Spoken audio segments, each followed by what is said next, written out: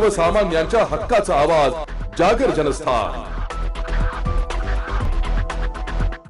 राष्ट्रीय plus polio लसीकरण मोहिमेच्या अंतर्गत राज्याच्या सार्वजनिक आरोग्य विभागाच्या वतीने दोन थेंब प्रत्येक वेळी पोलिओवर विजय दरवेळी हे घोषवाक्य घेऊन तीन मार्च दोन हजार चोवीस रोजी संपूर्ण राज्यात पोलिओ लसीकरण मोहीम राबवली जाणार आहे.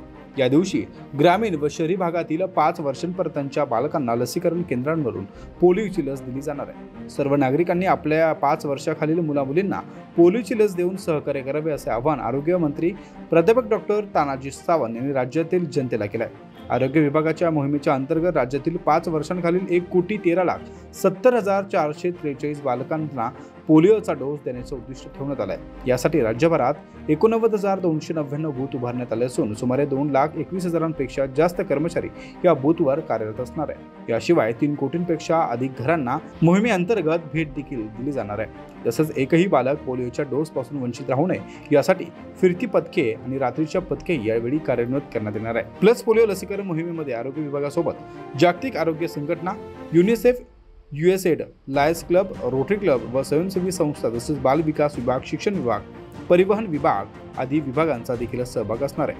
जागर जनसंसाठी सिद्धार्थ तायडेसह प्रतीक कुरेकर अकोला.